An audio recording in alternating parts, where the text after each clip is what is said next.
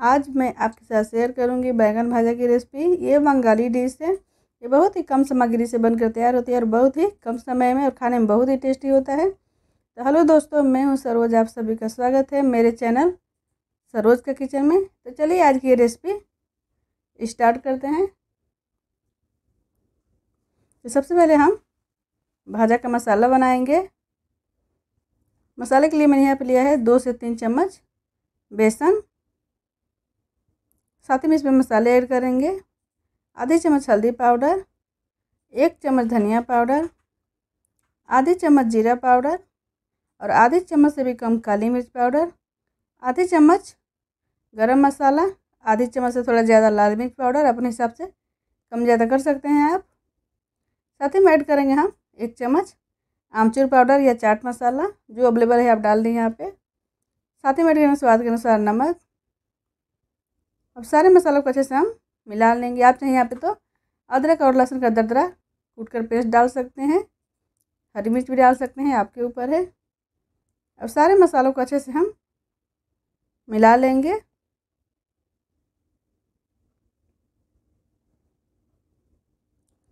यहाँ मैंने सारे मसालों को अच्छे से मिला दिया है, जिसे आप देख रहे हैं।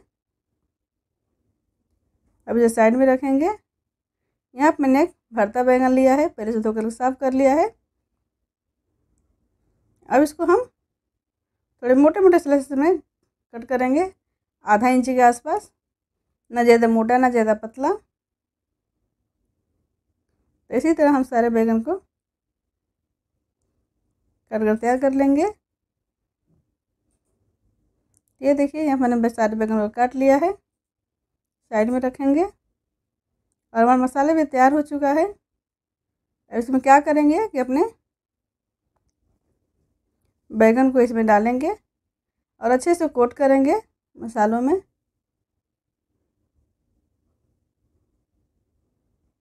ये देखिए, मैंने अच्छे से कोट कर दिया है। इसी तरह से हम सारे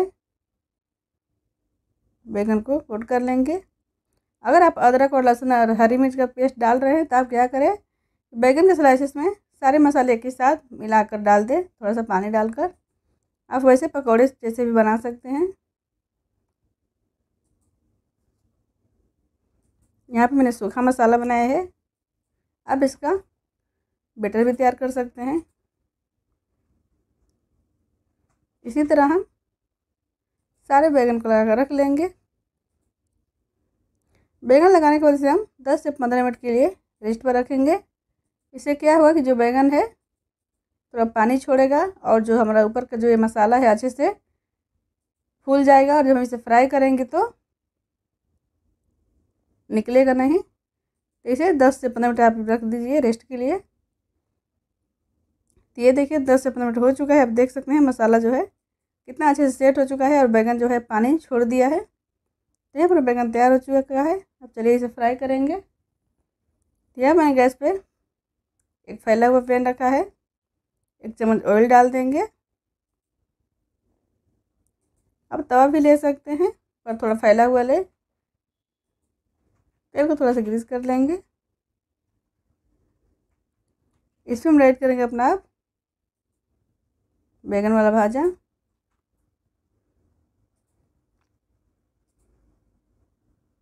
आप एक बार भी जितना फ्राई कर सके, रख ले। ये बहुत ही कम तेल में ही बनकर तैयार हो जाता है। आप इसे डीप फ्राई भी कर सकते हैं पकौड़े जैसे। लेकिन बैगन भाजा जो है, इसे जो बहुत ही अच्छे लगते हैं।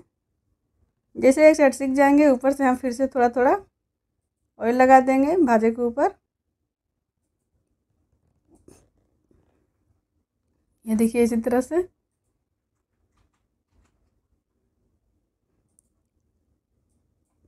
ऐसे ही सारे बैगन में हम लगाकर तैयार कर देंगे। तेल लगाने के बाद इसको हम लट देंगे। ताकि दूसरी साइड भी अच्छे से ये क्रिस्पी हो जाए और पक जाए। आपको फ्लेम को ज़्यादा यहाँ पर हाई नहीं रखना है, ना मीडियम रखना है, इसे लो फ्लेम पे हम अच्छे से सेकेंगे। अब बीच बीच में थोड़ा थोड़ा फ्लेम को लो टू मीडियम कर सकते हैं, पर हाई फ्लेम पे बिल्कुल भी ना करें। ये देखिए। भाजा जो है दोनों साइड से बहुत ही क्रिस्पी हो चुका है। अब देख सकते हैं बहुत ही अच्छा कलर आ चुका है। अब इसे हम निकाल लेंगे एक प्लेट में। यह मैंने सारे भाजे को प्लेट निकाल लिया है। और फिर उसी तवे पे थोड़ा सा ऑयल डालेंगे। थोड़ा तेल को फैला लेंगे। और यहीं फिर से अपना हम भाजा डालेंगे। और सेम प्रोसेस है, इसको भी हम दोनों साइड से क्रिस्पी होने तक फ्राई करेंगे।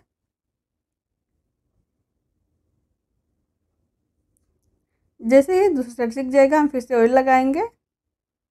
ऑयल लगाकर इसे हम फिर से पलटेंगे।